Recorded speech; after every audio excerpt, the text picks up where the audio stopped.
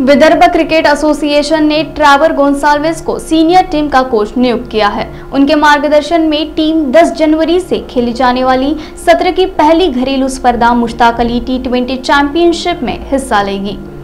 48 वर्षीय गोन्साल्विस प्रसिद्ध और सबसे सफल विदर्भ कोच चंद्रकांत पंडित ने इस साल की शुरुआत में विदर्भ के साथ अपने तीन साल के कार्यकाल को समाप्त कर दिया। वीसीए के कार्यकारिणी समिति की बैठक में बीसीसीआई के घरेलू कैलेंडर की समीक्षा की गई। ट्रावर विदर्भ अंडर 23 के कोच रह चुके हैं, जिन्होंने वर्ष 2019-20 के सत्र में कर्नल सी के नायडू ट्रॉफी जीती थी। कार्यकारिणी ने समय पर टीम का सत्कार समारोह करने का भी निर्णय लिया।